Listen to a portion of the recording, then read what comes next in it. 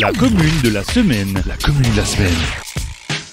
La commune de la semaine est cette semaine le village de Anvillers, traversé par la rivière Orne, qui vraiment donne à ce village un très joli cachet. Pour en parler, je suis avec le nouveau maire, monsieur Claude Barbian. Bonjour Claude. Bonjour, bonjour à tous. Alors dites-moi, souvent le, le, maire est originaire du village, est une mémoire du village, mais j'ai envie de dire, vous faites un petit peu exception à la règle. Dites-moi, comment avez-vous atterri à Anvillers alors effectivement, je suis une exception dans la mesure où je n'habite en Villers que depuis 14 ans. Enfin, depuis que, que c'est 14 ans, c'est déjà pas mal. Et à cette occasion, euh, nous sommes tombés, mon épouse et moi, ainsi que ma fille, sous le charme du village, du pays de Beach en général et de ses habitants. Et parce qu'à la retraite, retraité des, des houillers, relativement jeune, euh, je voulais m'investir un petit peu dans la vie du village, donc je me suis proposé aux élections enfin en tant que conseiller municipal adjoint, aux élections de 2008 sur la liste de M. Bernard Steclé, l'ancien maire. Donc j'ai œuvré déjà pour la commune depuis 12 ans et donc euh, étant donné que M. Steclé a renoncé à, à, se présenter aux dernières municipales, donc j'ai pris le relais et je suis devenu maire de ce village.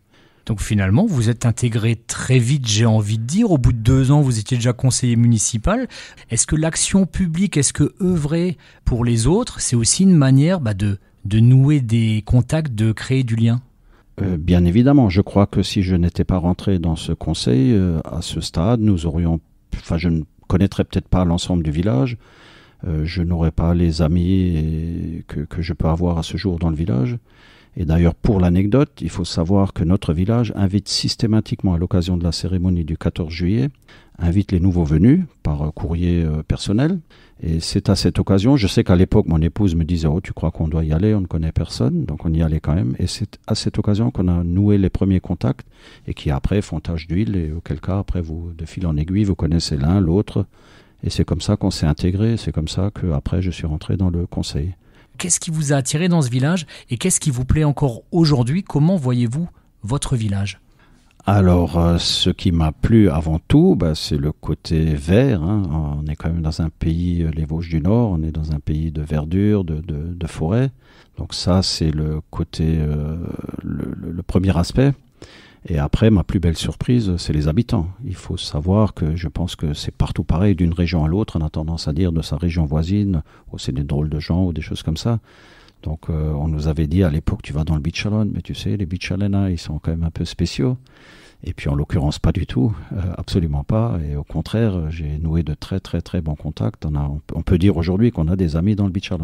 Voilà, donc c'est cette convivialité, cette solidarité, cette, euh, on a des, petites opérations du type nettoyage de printemps qu'on peut faire avec les gens du village, euh, voilà, qui, sont des journées fort sympathiques et qui contribuent aussi à la convivialité entre les personnes. Euh, Qu'est-ce qui fait l'attractivité d'un village En dehors des services et des commerces, c'est aussi l'aspect visuel. Si vous avez un village où toutes les maisons sont grises, où il ne se passe rien, il n'y a pas une placette de jeu pour les enfants. Donc on a à cœur d'aménager un petit peu autour de ça. On a à l'entrée du village, euh, bon pour ceux qui le connaissent, vous verrez qu'il y a une, petite animation, une petite maisonnette avec euh, des petits décors assez sympathiques. On a récupéré notre cabine téléphonique de l'époque pour en faire une espèce de bibliothèque publique. On a des projets du type euh, terrain de pétanque, on a des, petites idées là-dessus. On a cette chance d'être traversé par une piste cyclable qui fait un peu la promotion du village malgré tout, puisqu'on passe au travers. Hein dans l'axe Beach Pirmazens. Bon, on a cette chance aussi, si vous voulez, d'être relié de par ce qu'on appelle maintenant des mobilités douces, euh, des chemins ou des pistes. On est relié à, d'autres villages voisins, donc ça peut être Bousviller le plus proche, mais c'est aussi Aspelshit, à travers le plateau d'Aspelshit. On a sur le banc de notre commune euh, notamment deux gîtes qui permettent l'hébergement touristique dont un en particulier qui est euh, toute une histoire, hein, c'est le château du Gendersberg, et dont une partie a été transformée en gîte, mais aussi en habitat insolite, et euh, avec un cimetière anabaptiste qui vaut le détour lui aussi.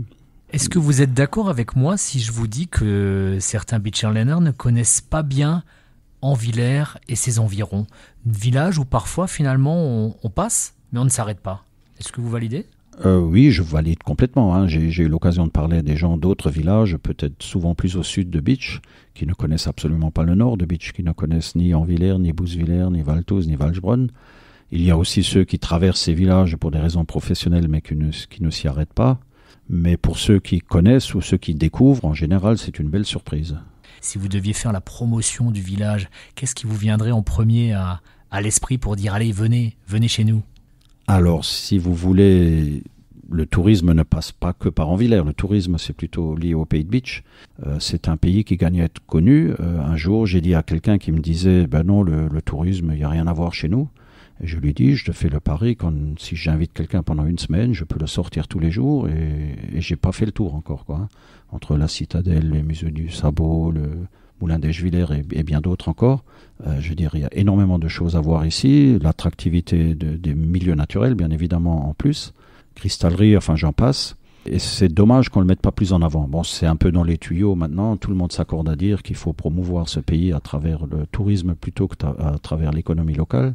Oui, au risque de me répéter, je pense que le salut du pays de Beach passe par, par ce, ce, biais-là. Quoi. Et la promotion du Pays de Beach passe bien évidemment également par la commune de la semaine où on découvre évidemment qu'au Pays de Beach et tout particulièrement à Anvillers, il fait bon vivre. Merci beaucoup, Monsieur Barbian. Je vous en prie. Merci à vous.